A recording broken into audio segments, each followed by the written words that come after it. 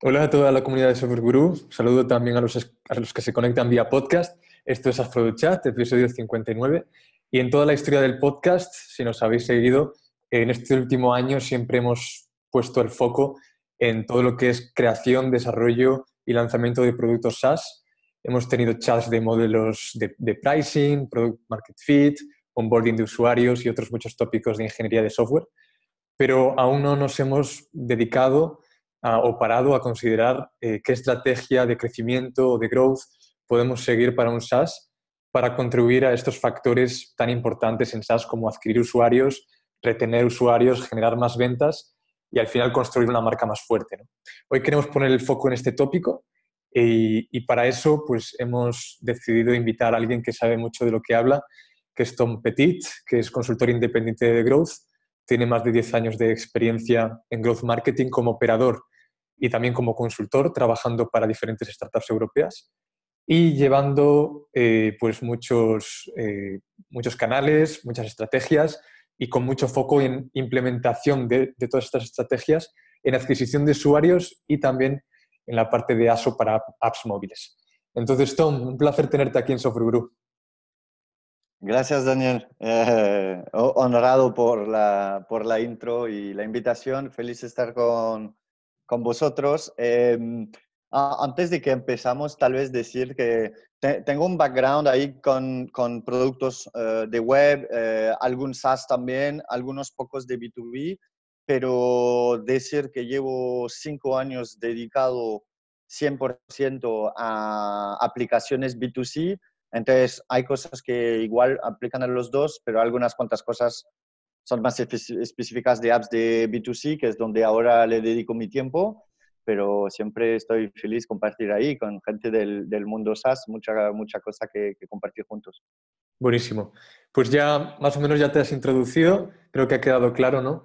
Que llevas eso, muchos años como consultor de, de crecimiento móvil y, y SaaS y web para varias startups muy conocidas. Dejamos en la descripción el LinkedIn para toda la gente que quiera ver cuáles son. Y bueno, pues si quieres, empecemos cuando eh, vas a estas startups o te contactan, normalmente, eh, ¿qué buscan en ti? ¿no? ¿Qué consejos tácticos en canales orgánicos y pagos? Eh, ¿qué, ¿Cuáles son tus servicios? digamos, ¿en qué te enfocas principalmente? Y, y cómo suelen trabajar estas startups y empresas SaaS contigo. Sí, pues eh, hay una cosa un poco curiosa porque trabajo con, con startups de, de, tamaños muy diferentes y entonces obviamente pues los retos y las tareas no son las mismas. Eh, suele ser que cuanto más grandes, más específico de enfocarse en solo un canal o solo una etapa del funnel o solo en un problema de datos. Eh, tengo algunos que ahí ya empresas más consolidadas, dos son unicornios, pero luego trabajo con muchas pequeñas que o acaban de lanzar su app o ni siquiera la tienen lanzado o está en estado de MVP. Obviamente, pues no, no hago lo mismo en los dos casos, pero hay, una, hay un caso muy común que es que me llamen porque me, me conocen de adquisición de pago y me dicen, oye, ¿cómo podemos gastar más? ¿Cómo podemos gastar mejor? Y hay dos cosas interesantes que se producen ahí. Lo primero es que mi respuesta, una vez veo las cosas, suele ser, pues yo recomendaría gastar menos, eh, porque hay un montón de cosas que no van. Eh, pero la cosa interesante es que acaba siendo mi trabajo mucha cosa que no es de, de, adquisición de usuarios, sino de todo lo que necesitas para poder hacer adquisición de usuarios de manera eficiente. Y entonces me enfoco muchísimo en estructura de data y qué herramientas y cómo cómo agregamos nuestros datos entre, entre fuentes y cómo las usamos y cómo las servimos a un equipo que a lo mejor tiene menos conocimiento de gestión de datos para que sea útil, o sea, toda parte de gestión de datos por un lado, y, y por otro, una parte que toca mucho más a producto, que a lo mejor no se enfoca en las funcionalidades core, sino realmente en la primera experiencia, en el onboarding, en el sign-up, en la primera vez que les van a topar el paywall, en cómo llegar hasta el nivel 3 o el ejercicio 1 y tal. Y entonces, pues es lo que hace mi trabajo interesante porque me, me llaman por una parte que adquisición de usuarios incluso es una parte de marketing sola y no lo es todo. Y acaba siendo que estoy trabajando en, en cosas que son más de producto y dato, que es lo que a mí me gusta y que de alguna manera pues así definiríamos growth, ¿no? Un poco a la frontera entre, entre los tres equipos, es como me gusta a mí. Ok. Creo que algo también muy interesante que tocaste tú es que eh, mucha gente piensa que es más sencillo, o más bien, toma la decisión de invertir en, en, adquisición por pago porque es más fácil, ¿no? Nomás pon los datos de la tarjeta y empieza a llegar la gente, ¿no? Este, por ejemplo, el tema de onboarding, ¿no? Es súper crítico, ¿no? O sea, tú puedes meter mil, dos mil personas por día, pero si tu onboarding no es efectivo, o sea, de nada, ese dinero se fue tirar, lo quemaste literalmente, ¿no? Y creo que sí. sería mejor que, nos, que te paguen mejor una muy buena, una muy buena fiesta, ¿no? Le sale más efectivo eso que a que, a que se haya gastado tanto dinero en adquirir usuarios, ¿no? Ah, Entonces, ah, estoy de acuerdo. Hay, hay, un dicho muy interesante que, que leí que, que, básicamente tiene una imagen de un pozo ahí donde se va el agua y dice, si tu retención inicial es muy baja, no estás adquiriendo usuarios, los estás alquilando. Eh, entran y salen, ¿sabes? Eh, y, y, está claro que pff, nunca está perfecto, o sea, siempre, siempre habrá churn, siempre, especialmente en apps es brutal. Eh, las cifras es que perder el 80% de los usuarios en tres días es lo normal. O sea, y perder el 90% en un mes es normal. Entonces, la gente ahí enfocándose en el precio de install, realmente si lo mides en precio del usuario a mes, al segundo mes, pues ya multiplicamos la, el precio por 10 y es mucho mejor enfocarse en esto. Obviamente es un proceso iterativo donde nunca estás perfecto, pero creo que sí hay un, como una, una barra mínima en que si no estás, mejor no invertir nada, mejor invertir ahí en, en tapar los hoyos de, de, tu funnel que en enchufarle que en enchufarle al usuario. Ahora, aquí hablo de, de adquisición como para crecer, ¿no? Le, le, eh, para crecer el negocio, para, para, para, ser más grande, pero creo que hay una, una parte que no se habla mucho, que es adquisición para mejorar el funnel. Me acuerdo, por ejemplo, que en 8fit, antes de que entré, había otro marketingiano que tenía un pequeño presupuesto. Su objetivo era poner suficientemente corte en el funnel para que los experimentos de onboarding y de paywall que hacían tengan eh, relevancia estadística. Y no era de que si el retorno, que si tal, era de, vale, eh, esta versión es mejor que la otra, seguimos iterando, hasta que llegaron a un nivel donde los unit economics empezaron a hacer sentido y ahí empezamos a hacer adquisición de pago para el negocio. Pero al inicio era adquisición puramente para desarrollo de producto hasta llegar a esta, a esta barra. No, no es fácil poner esta barra, pero básicamente si estás debajo de lo que puedes recuperar, pues a iterar, a iterar, seguro. Oye, Tomás, ¿y, y una recomendación para hacer esa, ese experimento? ¿Cuánto sería? O sea, con, ¿qué sería? ¿Con 15, 20 usuarios que, que metas diarios? ¿Con eso crees que es suficiente? ¿O, o hay que meter un arriba de esos números? Pues depende mucho de tu, de tu modelo de negocio y depende mucho del experimento que haces. Eh, en particular en B2B es muy, es muy complicado hacer este tipo de cosas porque sueles tener un ciclo de venta muy largo donde al final tienes, un, tienes muy pocos clientes con tickets muy grandes.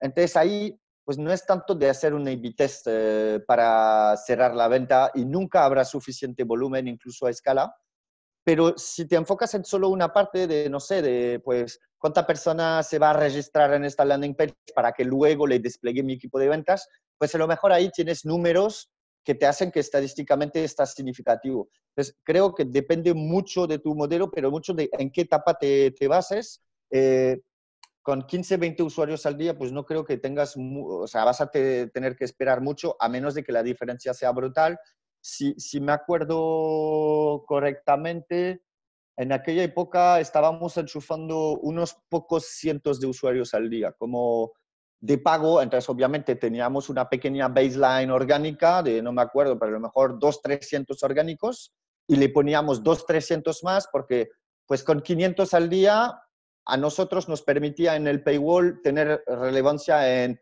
en un experimento de algo como 2, 3 semanas de colectar datos que si colectar datos te va a tomar tres meses, pues igual es un problemón. No puedes iterar muy rápido, eh, pero en adquisición, cuanto más volumen quieres, más lo vas a pagar. Entonces también hay una especie de balance de si, si le pones muy poco, te sale más a cuenta cada uno. Y es de encontrar un poco el punto medio de... Y bueno, en etapas, estoy hablando ya de cientos al día, veo también productos que se conforman con mucho menos, igual no tienen relevancia matemática con un nivel de confianza del 99, na, na, pero bueno, ven si buscas diferencias más grandes cuando estás más pequeño y a veces algunos pocos te bastan porque es tan obvio que una versión es mejor que la otra que, que sí, puede ser que con 20 usuarios al día sea, sea suficiente. Depende mucho en qué estás iterando. Algunos experimentos necesitan poco volumen. Si es la primera pantalla, eh, más arriba del funnel, más gente. Y cuanto más bajas, más problemático es tener eh, el corte suficiente. Entonces es difícil contestar en general, depende a qué, a qué nivel del funnel estás trabajando. No, pero sí le dices, sí le dices al grano, ¿no? O sea, el tema es, eh, lo, lo, más importante aquí es qué es lo que estás probando, ¿no? Eh, y obviamente las diferentes aplicaciones, si son B2C, B2B, este, van, a, van a haber diferencias, ¿no? Y también el, el, el, el timing de, de, adquisición también va a cambiar, ¿no? Pero es importante que la gente vaya teniendo, vaya considerando esto, ¿no? O sea, si sí. eres B2B, pues sí, es cierto, van a ser menos.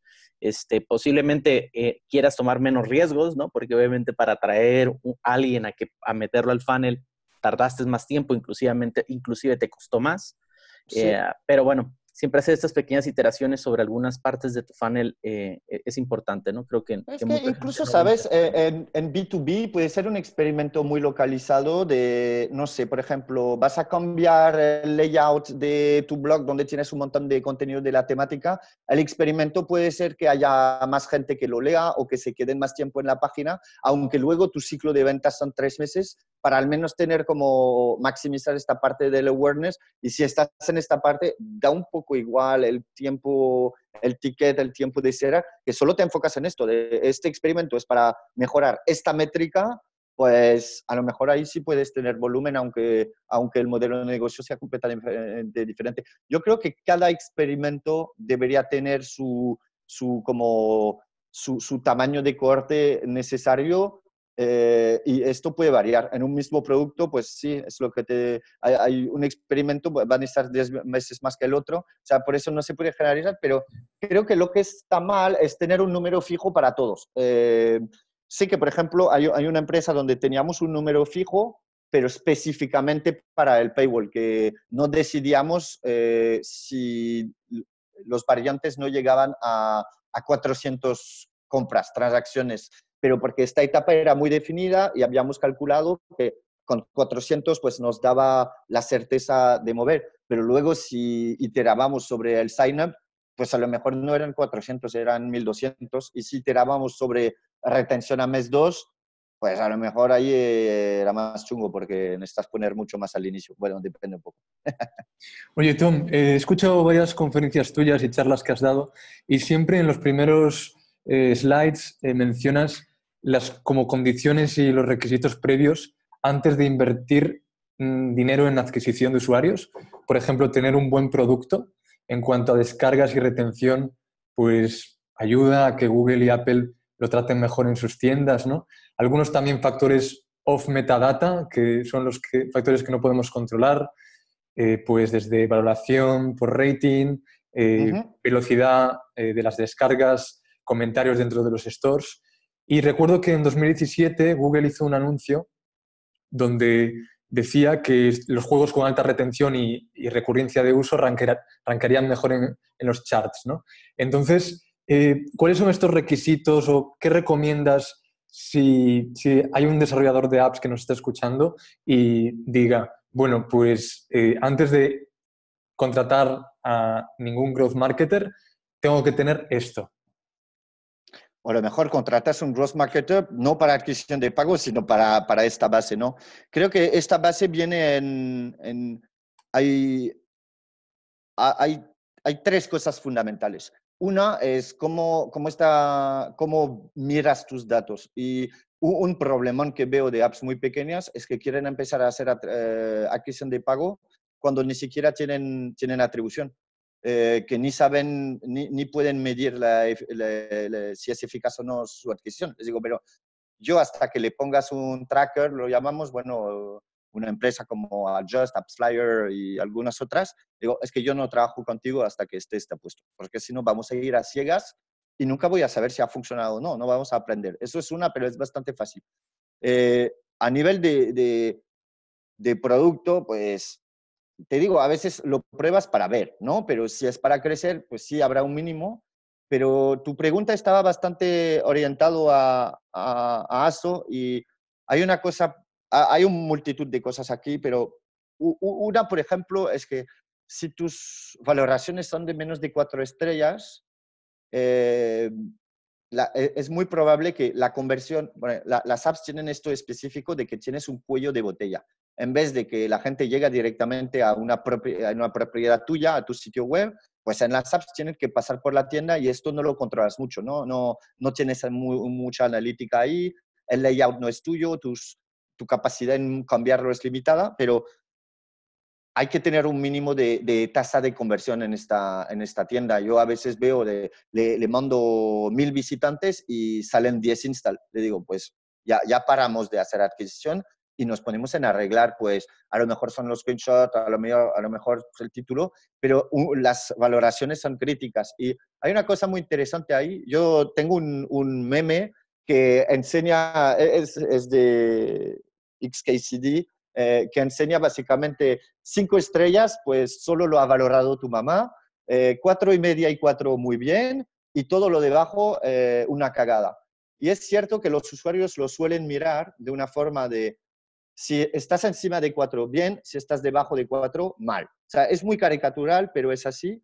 Y yo siempre lo veo, apps con menos de cuatro de valoraciones es un problema en adquisición porque la conversión va a ser baja y por la mecánica de cómo funcionan los networks, pues te va a salir muy caro eh, anunciarte ahí con, tasa de conversión muy baja. Y de hecho, hay una, esos son más bien como lo veo en, en condición real, pero hay una señal muy fuerte que nos está dando Google, que cuando anuncias una, una app de menos de cuatro estrellas, no enseñan las estrellas en el anuncio, y si está encima de cuatro, sí lo enseñan. Y esto a mí me parece como la confirmación. Hay un motivo de por qué no lo enseñan, es que si te ponen un anuncio con una app de dos y medio, pues la gente no clica y entonces Google gana menos dinero. Eh, tampoco es que sean tontos, ¿no? Eh, y esto para mí es como una, confirmación. Es estar a cuatro estrellas, pues yo lo pondría como un requisito, eh, pero hay bastantes otros, la verdad. Y completo, como muchas veces un error es gente que quiere empezar este, eh, adquisición de pago demasiado temprano. En algunos modelos de negocio puede tener sentido, pero creo que hay un montón de cosas que puedes exprimir antes eh, de, ponerle gasolina al motor, o sea, de, más bien de convertir tiempo en valor, más bien que puro dinero eh, al inicio. Entonces, pues, jugar un poco con las keywords eh, en ASO, la verdad es que tiene un techo, tiene un ceiling, pero hazlo al inicio para tenerlo y maximizar lo que luego vas a, poner en, cash, ¿no? Hay cosas que, que mejor hacer, hacer antes.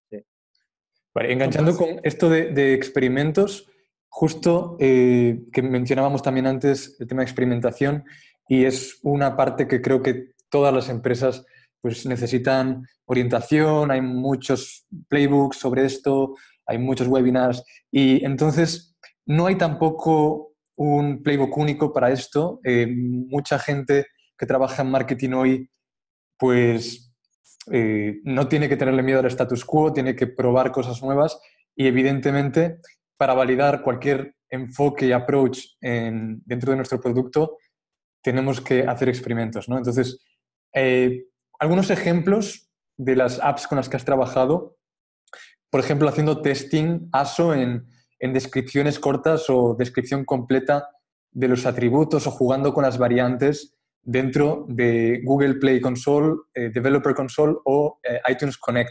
No sé si nos puedes dar eh, pues algunos tips o algunos consejos tácticos de cómo hacer esta serie de A-B test dentro de, esto, de, Google Play Developer Console o de iTunes Connect y, algunos ejemplos de cómo se debería enfocar la experimentación, concretamente en apps móviles, pero si quieres poner también algún ejemplo en empresas SaaS donde has trabajado, perfecto. Es un poco, cada etapa puede y debería ser un, poco experimentado, eh, pero el, playbook, como tú dices, a lo mejor es muy diferente si estás experimentando en creatividades de Publi, en la store con tu ficha, en el onboarding o a tus usuarios retenidos. Los métodos y las herramientas y, todo va a cambiar un poco. Si, si nos enfocamos en esta parte del cuello de botella de la store, hay un, un, problemón que tiene es que no, no controlas tú, no puedes montarte, es que no puedes tener un píxel ahí, no puedes meterle nada, ¿no? Usas los datos que, que Google y Apple están, eh, que, que, te, que te dan y poco más. Entonces, en el caso, hay, e-, es, bastante gracioso que me, preguntes de esto porque llevo escribiendo, eh, no, no escribo muchos posts, pero llevo escribiendo un playbook sobre esto eh, que aún no he publicado, pero que acabaré poniendo público en algún momento. Tal vez porque de momento lo vendo, entonces cuando lo habré vendido dos, tres veces igual lo publico. Eh, y básicamente ahí explico, hay, yo conozco cuatro maneras de testear ahí y las cuatro tienen tiene limitaciones bastante importantes. Eh, uno de esos cuatro métodos es una herramienta que nos da Google que tiene dos maravillas. Uno que es gratuita, que no es el caso de los otros métodos, y otro que es muy sencillo. Eh, y está genial, puedes probar por país, o sea, bueno, por idioma, puedes cambiar el icono, los screenshots, los dos a la vez, la descripción, el tal.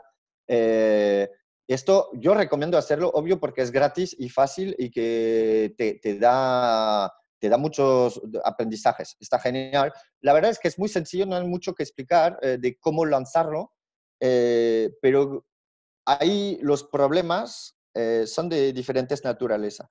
Uno es que hay, como este, este producto no existe en Apple, en iTunes, hay mucha gente que hace sus experimentos en Android y dice, bueno, pues voy a aportar los aprendizajes ahí en iOS. Y creo que esto, pues, muy mal. Eh, la, experiencia de usuario es muy diferente, pero también el perfil de usuario es muy diferente. El layout de las stores no son igual, tu competición no hace lo mismo, los tonos de colores no son los mismos, algunos elementos son propios, como la, la descripción corta, entonces no aplica.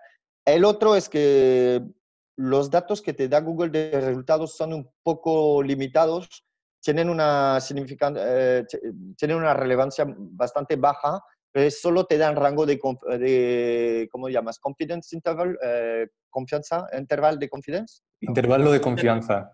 Interval de confianza. Eh, solo te lo da del 90%. yo no sé, pero en experimento no suelo aceptar resultados debajo de 95%. Eh, y los que saben de estadística, pues saben que entre 90 y 95 hay una diferencia brutal. Eh, y entonces he visto, eh, está genial y tienes resultados y tal, pero he visto un montón de veces versiones que supuestamente eran ganadores o perdedores, que una vez lanzado en la vida real, pues no se comportaban nada de lo mismo que en el experimento. Entonces, a mí me gusta usar esta herramienta en complemento de otro método como los cuatro métodos tienen imperfecciones, lo que recomiendo es, pues uses dos y si va en la misma dirección, sé que no es matemáticamente así que debería ser, pero usas lo que, lo que puedas. Es típicamente en Google, pues lo haría en experimento y luego pues lo lanzaría en un determinado país, en un determinado momento y ver si el general mueve un poco. Esto es el método como de sequential. Yo lo llamo before after, de mirar antes del cambio y después del cambio. Hay gente que debe de tener en, horror este método que no es A-B testing, porque puede influir lo que sea, un cambio de tráfico, cambio de, estacionalidad y tal. A veces tienes que descartar porque pasó algo. Hay un influencer que te menciona y este test pues lo tiras a la basura, ya no vale, ¿sabes? Pero está bien confirmar que los datos de un lugar vienen de, eh, aplican el otro. En, en iOS como no hay nada dentro de la tienda que puedes hacer, eh, algunas veces yo voy a experimentar, por ejemplo, en Australia y Canadá antes de desplegar en Estados Unidos para limitar mi riesgo, porque como tengo que desplegar el nuevo, la nueva versión para todo el mundo, pues lo pruebo en un país más pequeño, a lo mejor el público es un pelín diferente, pero al menos para asegurarme de que no es una catástrofe, ¿no? Porque si no, es, no es un test, pero es me aseguro de no tener un, cagadón, ¿no? Ahí. Em, hay, un, hay una cosa que hay, hay, servicios externos que existen como Splitmetrics o ASO Giraffe. Hay tres, el tercero es Maven, que básicamente lo que hacen es reproducir la experiencia de usuario de la tienda, pero en una landing page mobile. Eh, algunos usuarios se darán cuenta de que esto es una landing page, pero lo bueno es que hay muchos usuarios que se creen que es la tienda, pero como es una propiedad tuya, te permite poner analítica de verdad y puedes ver si la gente mira el video 3 segundos o 20 segundos, si están scrolleando tu screenshot, cuánto tiempo de media pasan en una versión y en otra. A mí no me encanta este método de, de testing eh, porque no lo puedes tener, testear en orgánicos. Obviamente, eh, solo aplica al tráfico que le mandas ahí y aparte esas herramientas tienen un, coste. Lo bueno es que te dan una información que Apple y Google nunca te van a dar del comportamiento de usuario en tu, en tu listado. Y entonces yo uso este método más bien en investigación y para entender comportamiento que para testear una versión, que para decir el icono azul es más, eh, funciona mejor que el icono amarillo, pero más bien de qué pasa si le pongo un video más corto, qué pasa si le pongo screen de más color y de ver cómo impacta no tanto el rastro de conversión, sino el comportamiento en la, en la página. Ok. Eh, Muchas imperfecciones. Eh, muy, muy, interesante. Marketingianos de apps Mm. marketingianos de apps hay una limitación de datos y de herramientas. E, es que es menos maduro también que la web, eh, menos grande en términos de negocio, más limitado por este cuello de botella. Es, haces con lo que, tienes. Eh, yo creo que no pasa nada usar métodos imperfectos si estás consciente de qué imperfecciones tienes y de qué riesgo te estás tomando comparado con un, un proceso de testing que controlas completamente. Haces con lo que hay, eso es la, es la vida, ¿no? Vale, eh, antes has comentado el tema de AppsFlyer y, y de, bueno, no sé si has dicho Adjust también creo, eh, temas de atribución, ¿no? Yo creo que aquí es un tema que también muchos equipos eh, tienen quebraderos de cabeza, ¿no? Es muy complicado, primero porque Mm, pues los datos de las plataformas de analítica, en el caso de mobile, Google Play Console o iTunes Connect, en el caso de web, Google Ads, eh, Facebook Ads, etcétera, eh, respecto a las plataformas de atribución, muchas veces pues se discrepan bastante los datos. Entonces, la plataforma de atribución puede contabilizar pues, la descarga por SDK cuando el usuario abre, eh, la, abre en su aplicación y, en cambio, eh, lo que coge la plataforma de analítica es la vez que hizo clic en ese, en ese ad, entonces contabiliza la conversión o informa de la conversión en el momento del clic, no en el momento de la, de la, apertura de la app. Entonces, eh, en este tema de discrepancia de datos entre plataformas de analítica y atribución, ¿cuál, cuál es tu recomendación? Porque aquí una idea que, que, a mí me parece que puede ser buena es juntarnos, sentarnos con el equipo de marketing y los, los que necesiten estar, ingeniería, producto, datos, e interpretar eh, de una manera uniforme eh, cómo vamos a interpretar esos datos, cómo vamos a medir los datos todos para que tengamos una sola, eh, digamos, una sola fuente de, de verdad. Pero, ¿cómo, ¿cómo lo recomiendas tú aquí cuando hablas con startups? Sí, eso es un, problema bestia y creo que incluso tocaste la respuesta, una de las respuestas en tu pregunta, es que van a llegar información eh, diferente del, del, network donde haces publi, de la propia tienda de tu consola, eh, del método de atribución y luego de lo que tienes en tu backend, pues nunca va a cuadrar, eh, o, o, en analítica, nunca va a cuadrar. Eso es la vida. Yo creo que una recomendación de, que hago es eh, defines internamente cuál va a ser la source of truth, o sea, la, fuente de verdad de la cual reportas. Aunque sabes que esta no es perfecta, que al menos esté consistente entre los equipos. Lo que no quiero es que algunos empiecen a reportar de un lado y otros del otro lado porque no puedo comparar nada. O sea, que definir cuál es. Yo tengo muy claro la cual quiero, pero no necesariamente es la mejor para todo el mundo. La mejor para todo el mundo es la que es común, ¿vale? Esa es la, respuesta. Ah, yo lo que prefiero tener es eh, mirar usuarios que confirmo que son de verdad desde mi backend, atribuidos por un partner como Adjust y AppsFlyer. Eh, y esto, hacer adquisición sin tener un partner de atribución es un error monstruoso.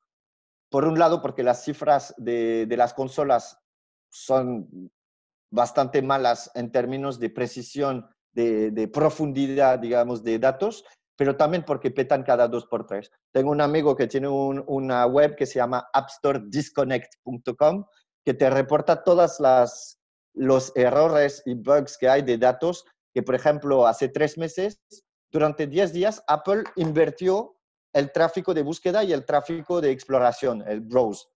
Pues en la analítica lo cambiaron el uno para el otro durante 10 días. Eh, si no estás todo el tiempo encima, esos datos son muy flojitos. Eh, el de Google lleva en un mes cinco días que, que, no son los mismos. Si exportas los resultados por día y sumas el mes, no corresponde con el total del mes que te enseña tampoco. Y entonces ah, yo no uso mucho los datos de consola, primero porque a lo mejor no son usuarios, son gente que ha iniciado la descarga pero nunca la abro. Segundo porque son poco o Son bots, o son bots, ¿no? O a lo mejor son, son click farms. Exactamente. Entonces yo suelo pasar bastante de esos datos, aunque hay una cosa que cuando digo definir la, source of truth, está bien que todo el mundo se base en lo mismo, pero está bien que haya una persona que monitorice eh, esta discrepancia de cuánto se mueve. Porque yo tengo el sentimiento de que da un poco igual cuál es la cifra absoluta, pero las tendencias tienen que seguirse que si cuando AppsFlyer me reporta 100, la tienda me reporta 120 y cuando AppsFlyer reporta 500, la tienda reporta 600, perfecto, o sea, está alineado. Y yo lo miro mucho en el tiempo de ver si no hay picos, si no están pasando cosas, si no hay caídas. Y no me importa tanto la cifra en absoluta, sino que todo esté moviendo ahí en sus curvas al, mismo ritmo, ¿no? en, digo, digamos, en sincronía pero esto no todo el mundo debería guardar un ojo en esto porque luego te mareas entre fuentes de datos. Yo creo que una fuente para todo el mundo y una persona que mira todas las fuentes en su evolución en el tiempo para asegurarse de que nadie, nada se está cayendo de manera brutal, ¿no? Y entonces estas son mis recomendaciones. Tener un tracker, usarlo y tener un tío que cheque que el tracker sigue siendo más o menos consistente con el resto. Y bueno, suele pasar que, que no, siempre, no siempre pasa como queremos. Esto está muy No, y, es todo un reto, ¿no? Porque al final, este, eh, pues sí, tienes parálisis por análisis, ¿no? Eso es muy común, ¿no? Eh, pero bueno, Tomás, este, pues ya se nos acaba un poco el tiempo. Eh, agradecemos mucho que te hayas tomado la, molestia de estar aquí con nosotros. Eh, ¿Algo que, quieras recomendar, algún libro este, o algo que has leído últimamente que recomiendes a la comunidad de Software Guru de que se eche un vistazo? Eh, pues si os interesa el tema de, apps, si tenéis apps, hay un, hay un, Slack espectacular que se llama ASO Slack, que no trata solo de eso, es en apps en general. Hay unos mil miembros y es mucho de autoayuda, hay muchos independientes eh, y tienen un blog que también es bastante espectacular. Habrá otras fuentes, pero esta la tengo un poco en el, en el corazón. Son los mismos chicos que escribieron el Mobile Growth Stack, que es como un, un framework de, de, de, todo lo que necesitas crecer, eh, todo lo que necesitas para hacer crecer una app y viene del mismo equipo, eh, pero ahí está abierto como a, la comunidad y no, no, me canso de recomendarlo, es muy bueno. Ahí es Stack, pondré el link ahí abajo luego. Muchas gracias, Tomás. Este, pues nada, eh, creo que es, bueno, como tú dices, ¿no? Todavía son early days para el tema de, de todo lo de App Store Optimization, que es ASO, para aquellos que no sabían el acrónimo. Em, y, eh, y, bueno, poco a poco estaremos viendo cómo más aplicaciones B2B están, van a empezar a crecer también en, el, en, en los App Stores, ¿no? Entonces, este, pues bueno, ya te iremos invitando para una segunda, segunda, ¿cómo se llama? Segunda vuelta eh, y que nos cuentes también las nuevas cosas en las que has metido. Avísanos cuando esté lo del playbook, este, algún sitio web donde tu blog o Twitter, ¿qué, ¿cómo te contacta la gente? No, no escribo mucho, pero Twitter o LinkedIn. Y sí, pues encantado de hacer otra sesión que siempre hablo demasiado y luego se nos, se nos queda temas ahí eh, por, por, discutir. Pero muy feliz volver y, muchas gracias por, por atender hoy a, a todos y a vosotros por invitarme. Un placer. Gracias a ti, Tom. Que vaya bien la semana. Hasta luego. Gracias. Hasta luego. Chao.